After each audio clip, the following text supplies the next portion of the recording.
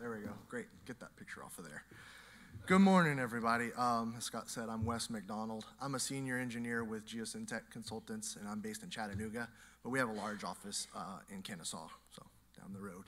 Um, and I've been working up here with the POA for about 10 years um, on Lake Petit Dam.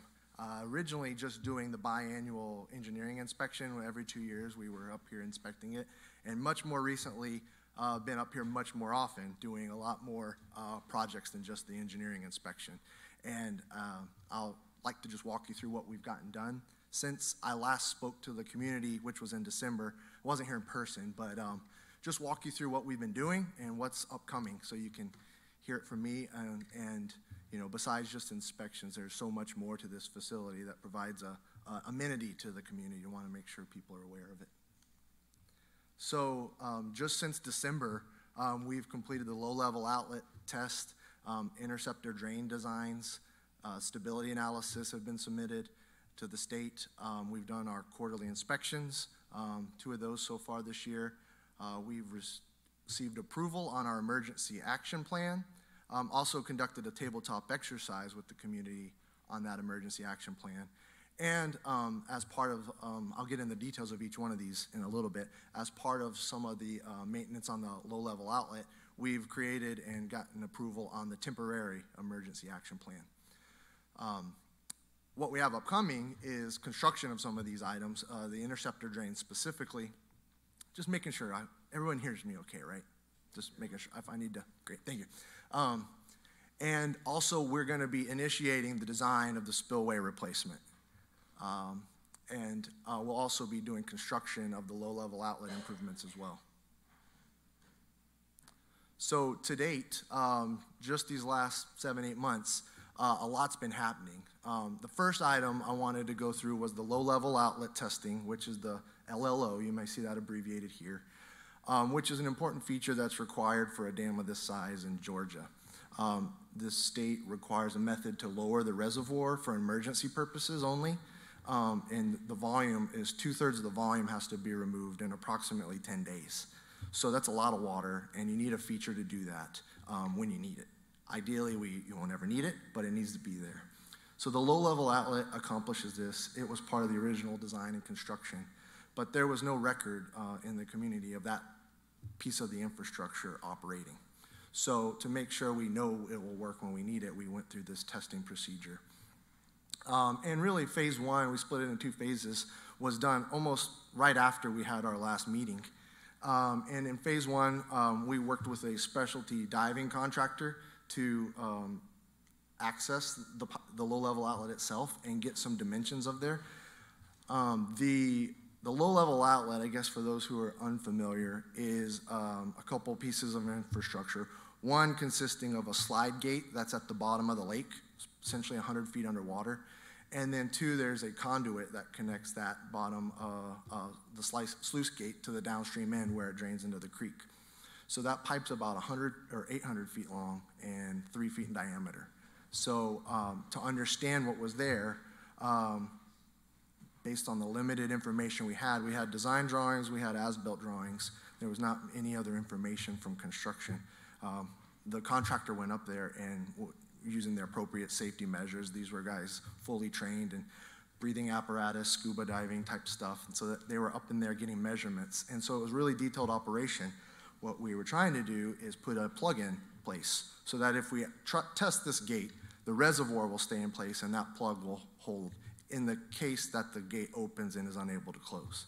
So this was a very detailed operation um, and consisting of getting information, detailed design, and construction of this uh, plug. And there it is. Uh, I don't know if I can see. Is there a laser? Yeah, here it is uh, being manufactured. Um, and what it does, it sits right there behind the sluice gate. Here's your sluice gate, bottom of the reservoir. Here's where they start, and they had to go all the way up there. And, and, this was very important to us because the conduit itself was not designed to take pressure. We could have put it at the bottom end, but the dam itself um, is an earthen embankment, and putting a plug at the downstream end would put pressure on the earthen embankment itself, and we, we it's not um, we don't want to do that for dam safety purposes. So the, the dam safety operation is very important as we go through this. Um, if I didn't mention, it's a high hazard embankment in the state of Georgia, category one dam, which is um, the, the highest level there is. Um, there is a risk to it in terms of life loss should it fail. Um, and that's why we're involved. Um, we're the engineer of record on these um, items. So um, we got the dimensions. Phase two, it was implemented. We built the plug and we installed it in April, May. And we were actually able to open the gate. The gate opened not as far as we wanted to, but it was able to open. We had evidence of that. We sent divers down. We got specific measurements of everything we needed. But during the opening, actually, what happened was not the problem with the gate itself, but a feature called the stem, which connects the gate to where you control it at the top of the dam, is the stem, and it has uh, stem guides, which you see here, the ones above water at the bottom. And um, actually, those um, were observed to crack in, in, several of those while we opened it. So we stopped the operation for safety purposes. The gate can still be opened if there is an emergency, but um, to repair those, we're in the process of, of working out the design and replacement of those as part of it. So the gate itself um, is presently closed, the plug is still in place, and we're um, on the process of determining that replacement of those stem guides and to make sure the low-level outlet is continued to be used in the future. So that, that was a significant project we've been uh, going through since uh, December. Another project we've been working on is interceptor drain. Um, those are features that are on the downstream face of the dam that intercept some of the water that um, passes through the earthen embankment, and that's totally normal. Water does pass through an earthen embankment. It's not a solid plug that prevents water from moving. So water moves through the dam, and those pipes um, uh, in, intercept it. They get the water out, and they put it on the face of the dam.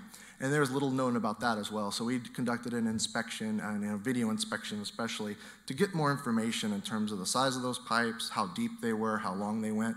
And you can see uh, in the image here a map of what we were able to find um, and the location of those. And the good news is they were a lot shallower than we thought they were.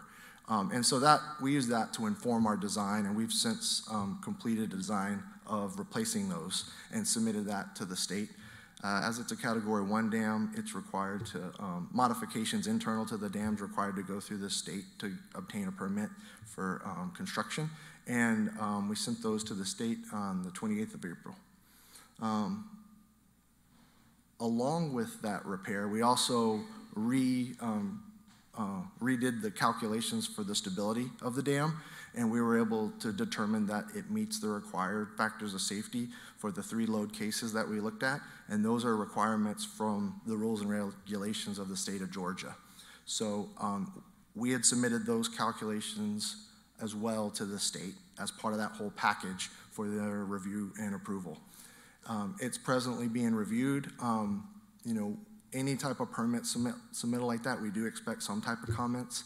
And we do understand that they may be sending uh, the review of those calculations for the stability out to a third party for review.